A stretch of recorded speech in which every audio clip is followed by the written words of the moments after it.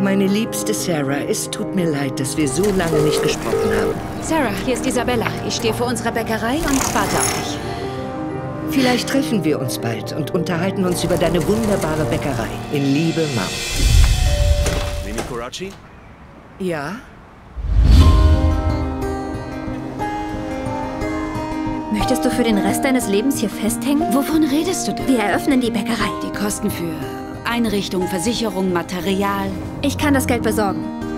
Bitte, jetzt sag mir, wo wir hingehen. Isabella. Mom hätte gewollt, dass wir die Bäckerei eröffnen. Also werden wir das auch tun. Oh, wonach riecht es hier? Katzenpisse. Croissants. Frisch aus dem Ofen. Ich komme wegen des Jobs. Ich war ein Freund deiner Mom. Das, was du machst, passt nicht zu uns. Das ist ein Rosenmakaron. Der Teig ist zu wenig verrührt. Wie bitte? Nicht viel, aber ein bisschen mehr rühren wäre gut. Du bist eine tolle Bäckerin. Deine Leidenschaft, die brauchen wir. Es geht los.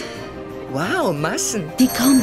Willkommen bei Love Sarah. Es gibt hier noch vier andere Bäckereien. Was macht eure so besonders?